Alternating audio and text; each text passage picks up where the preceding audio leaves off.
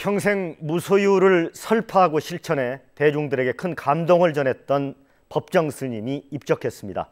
일체 장래 의식을 갖지 말라, 져서도 절판하라는 유언을 남겼습니다. 심수련 기자.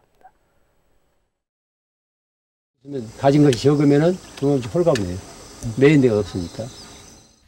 평생 무소유의 삶을 실천했던 법정 스님이 입적했습니다. 속세 나이 세수 79세입니다. 최근 폐암이 악화돼 입원 치료를 받아오다 자신이 창건한 길상사에서 열반에 들었습니다.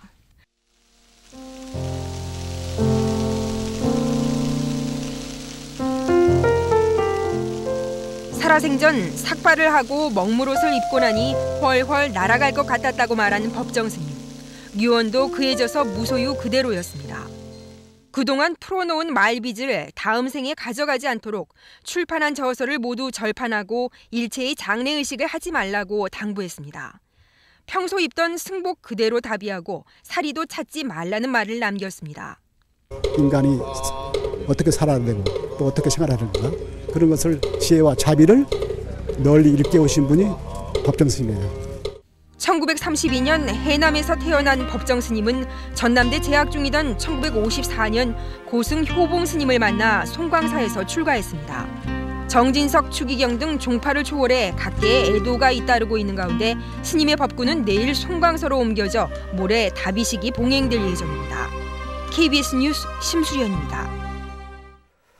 네, 이 법정 스님은 한평생 버리고 또 버리는 그래서 가진 것 없는 무소유의 삶을 실천했습니다.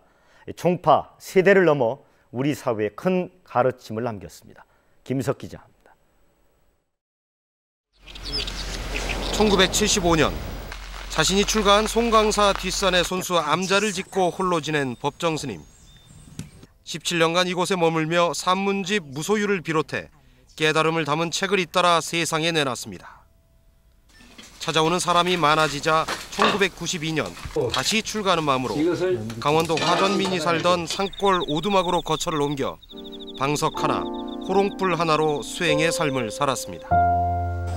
자기 어떤 주거 공간 같은 게 해주시면 단순해야 된다고. 주거 공간이 단순해야 어떤 광활한 정신 공간을 지닐 수 있어요. 고급 요정이었던 대원각이 사찰로 탈바꿈하던 날 천주교 사제인 고 김수환 주기경이 이례적으로 길상사를 방문합니다. 길상사의 개원을 진심으로 축하드립니다. 어, 그리고 열흘 뒤 스님은 화답으로 명동성당을 찾아 스스로 종교의 벽을 허물었습니다.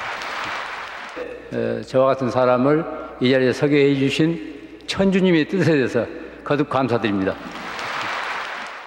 9.11 이후 테러와의 전쟁이 한창이던 미국을 찾아 법회를 여는 등 시대의 아픔을 돌아보고 번뇌에 빠진 이들을 위로했던 법정 스님. 평생 삶조차 소유하지 않았던 까닭에 죽음마저도 스님에게는 끝이 아닌 시작입니다. KBS 뉴스 김석입니다.